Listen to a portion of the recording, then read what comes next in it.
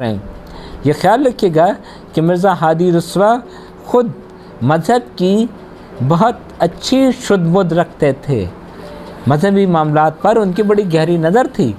इसलिए वो किसी तरह भी मज़हब के बा, बागी नहीं लेकिन वो इस मजहबी तबके का ज़िक्र जिस अल्फाज में और जिस अंदाज में करते हैं वो हैरान कन ज़रूर है।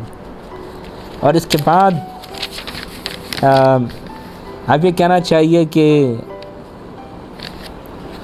इस कॉमिक इंटरलूड के बाद हम एक बड़ी संजीदा मौजू पर दोबारा वापस आते हैं और वो है लखनऊ की अहमियत। ये एक आ, अपनी जगह एक पूरा सवाल आपके एग्ज़ाम में आ सकता है इसलिए इस पर तवज्जो रखिएगा कि लखनऊ की खूबियाँ क्या हैं और लखनऊ की खामियाँ क्या हैं। खामियाँ तो हम बेशुमार पढ़ते आए, मुख्तलिफ़ जगहों पर मैंशन हो गया। हम ज़रा अब खूबियों की बात कर लें कि Lucknow why was it so big और लखनऊ से बाहर निकलकर एक नए शहर आकर उमराव को इस बात का अंदाज़ा होता है कि लखनऊ क्या चीज़ है, कितना बड़ा, कितना अहम शहर है। बाय द वे हम एक बात ज़िक्र करना भूल गए कि जब फैज़ अली उमराव को अकेला छोड़कर इस घर में गया था तो ये और गिरफ़्तार हुआ था। तो ये उमराव की ज़िंदगी का तारीख तरीन लम्हा था कि वो एक अजनबी शहर में बग़ैर किसी पैसे के, बग़ैर किसी को जाने, बिल्कुल तनहा एक औरत मौजूद है।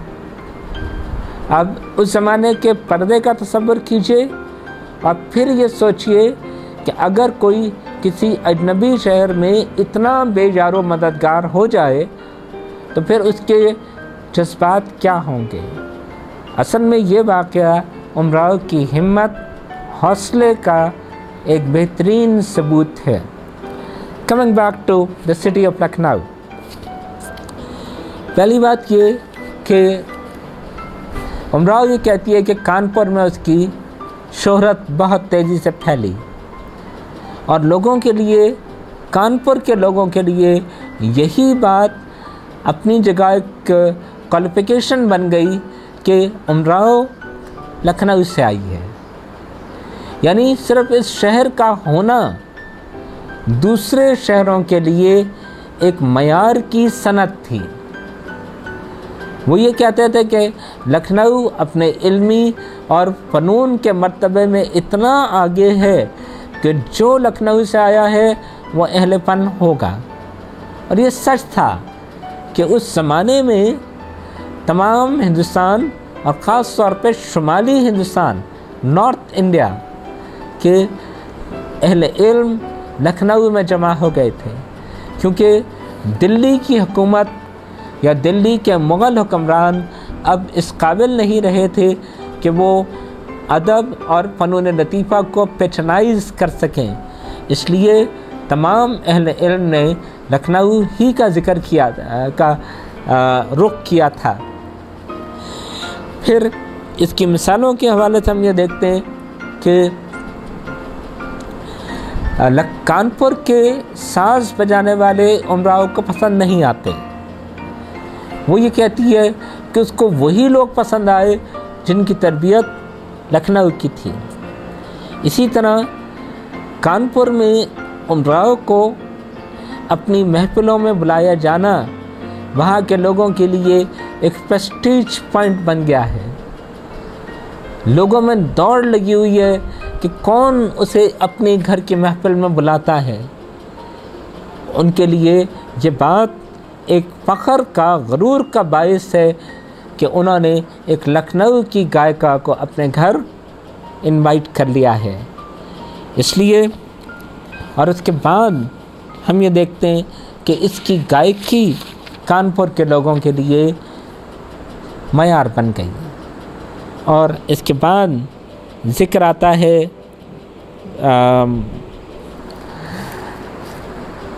एक हज़रत शारक का। एक ऐसा कानपुर का शायर जो अपने आप को लखनऊ का ज़ाहिर करता है और उसने अपनी बड़ी यहाँ पे धाक बिठाई हुई है कि मैं तो लखनऊ का शायर हूँ, मैं लखनऊ से आया हूँ और कानपुर के लोगों ने उसको अपना उस्ताद मान लिया।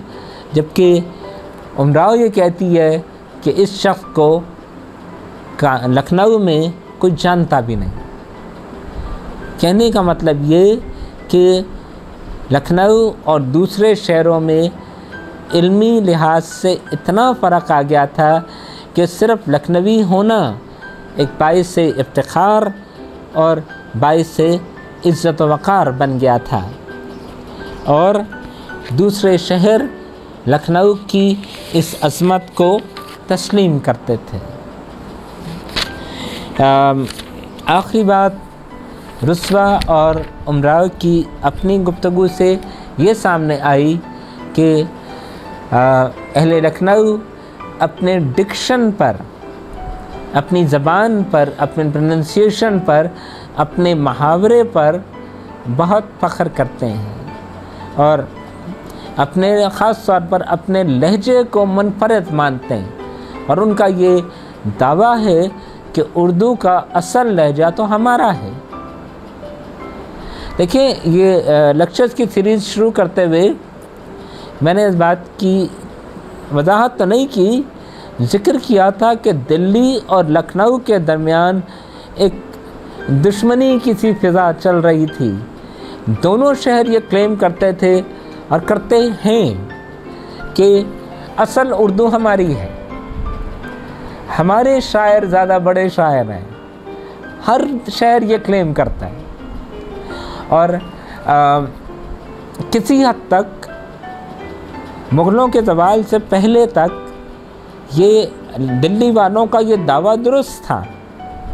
लेकिन मुग़ल सल्तनत के जवाल के बाद तमाम अहल इल्म का रुख लखनऊ की तरफ़ हो गया। इसलिए ये दुश्मनी दुश्मनी तो नहीं कहना चाहिए ये मुखालफत अहल अदब में आज भी मौजूद है कि फ़लाँ दहलवी है फ़लाँ लखनवी है। इसलिए चूँकि रसवा ख़ुद लखनवी हैं इसलिए वो इस बात को बड़े फ़ख्र के साथ ज़िक्र करते हैं कि हमारे लहजे को ही स्टैंडर्ड लहजा उर्दू का मयारी लहजा मानना चाहिए। और जो ये कहता है कि मैं लखनवी हूँ पहले वो लखनऊ के लहजे में उर्दू तो बोल ले।